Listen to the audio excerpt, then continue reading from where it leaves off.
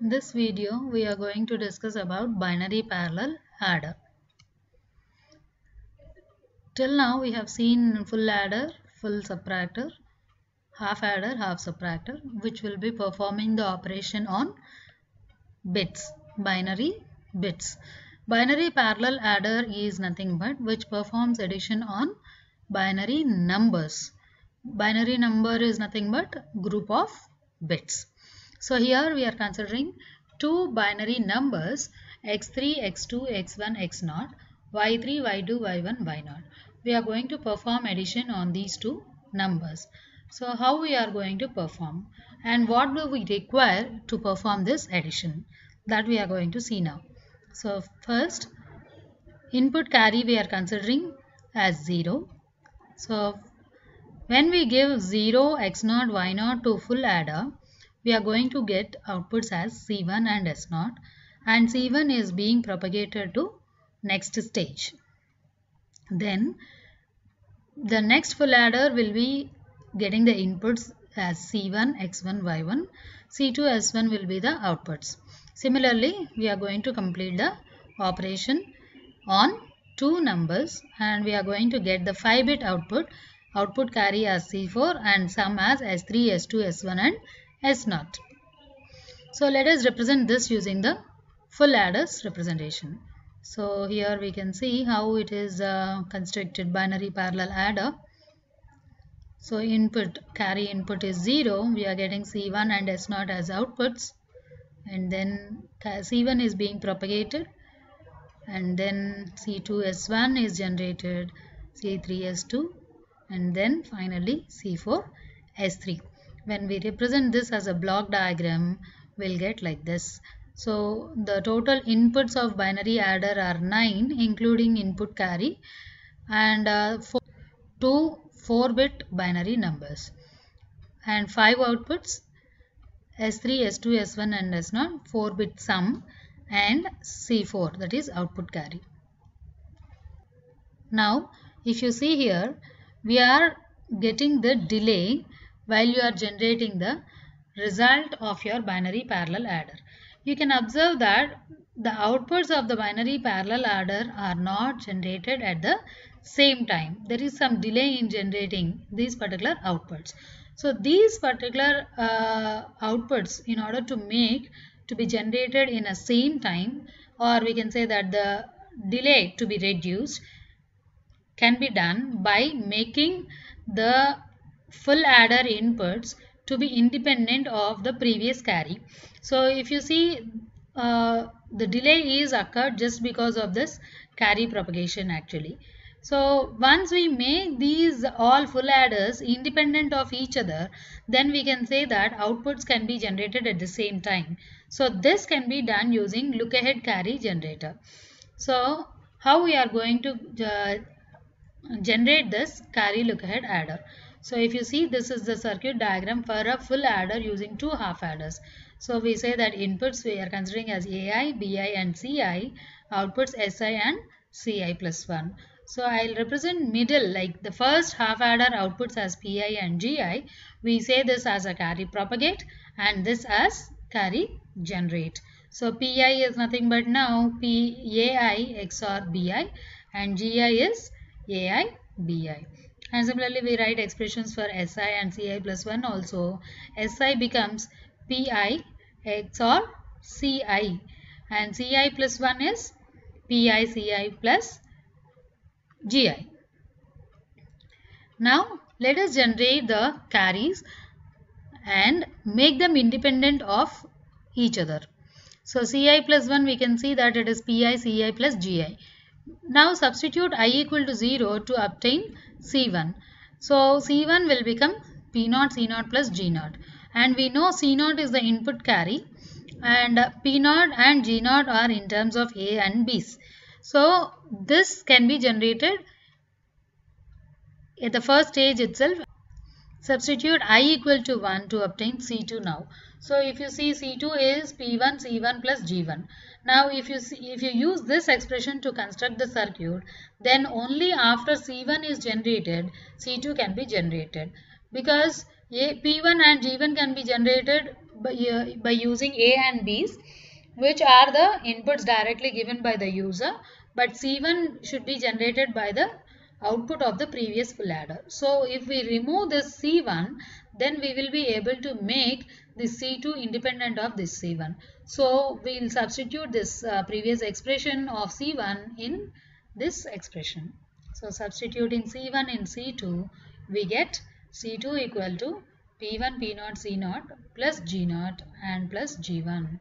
So if you see now A P1 P0 C0 G0 and G1 all, are inputs given by the user only. So C2 can be generated at the time when C1 is generated itself. Similarly substitute i equal to 2 to obtain C3 and uh, substitute C2 in C3 and make independent of others. Similarly, C4 will be done. Now, making use of these C1, C2, C3, C4, if we are drawing the circuit, that is nothing but what we say as carry look ahead adder. The circuit is shown like this. And if we incorporate that carry look ahead adder inside the binary parallel adder, we'll get the circuit in this form. C0 is given initially, P's and G's are in terms of A's and B's. So P3 and G3, P2, G2, P1, G1, P0, G0. We have seen how the expressions are for P's and G's and similarly we are going with the XOR and AND gates. And uh, C4 are C4, C3, C2, C1 are the outputs of carry look ahead adder and using these we can generate S0, S1, S2, S3 and C4 at the same time. So the delay is completely reduced in the in the binary parallel adder. Now the same circuit, the binary parallel adder we can convert to perform binary parallel subtraction. So we are using 2's complement uh, operation to perform this. So in this case x minus y can be represented as x plus y bar plus 1. So the circuit diagram will be converted like this. So instead of giving directly y to the binary adder, we are putting NOT gate which becomes y bar and this one makes this one. So x plus y bar plus 1 becomes binary parallel subtraction totally. So if you want to make a single circuit to behave as both binary parallel adder and subtractor, we are supposed to use a mode control bit. So M is nothing but the control signal we say. We make the circuit to behave as binary parallel adder when M equal to 0 and we'll make the circuit to behave as binary parallel subtractor when M equal to 1. So if you see m equal to 0, I am writing the expression as f is equal to x plus y plus 0 and m equal to 1, f equal to x minus y equal to x plus y bar plus 1. So what happens here? Like x is the first input for uh, binary parallel adder. Second input should be y when it is addition uh, and it, it should be y bar when it is subtraction. And input carry should be 0 in the case of addition and input carry should be 1 in the case of subtraction. So if you see these operations we are making use of y xor 0 is y, y xor 1 equal to y bar. And so what happens? If you say like m equal to 0 here, input carry is 0 as we want and here one of the XOR input will become 0. So y XOR 0 is y, outputs of XOR gate will become y and x is given here. So x plus y will be performed which is nothing but binary parallel addition. Now if I say m equal to 1, C in that is input carry is 1 as we want and y XOR 1 becomes y complement.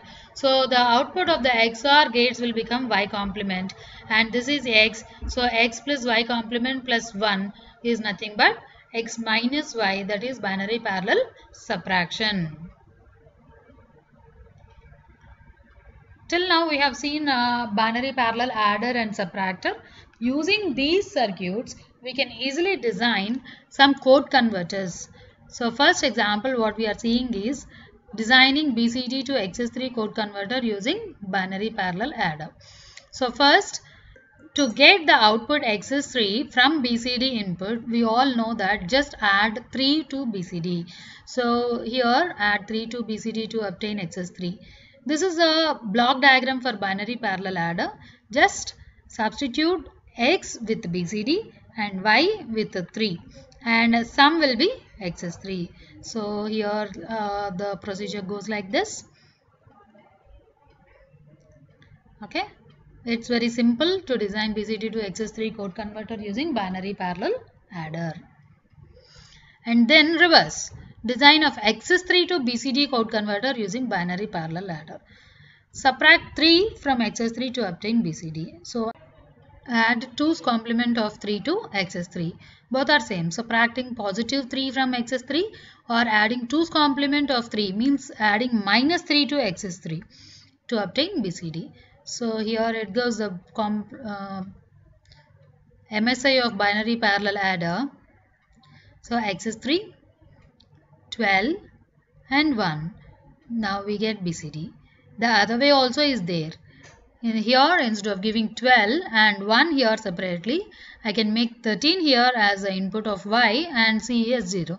So both the ways it is possible to make uh, XS3 to BCD code converter.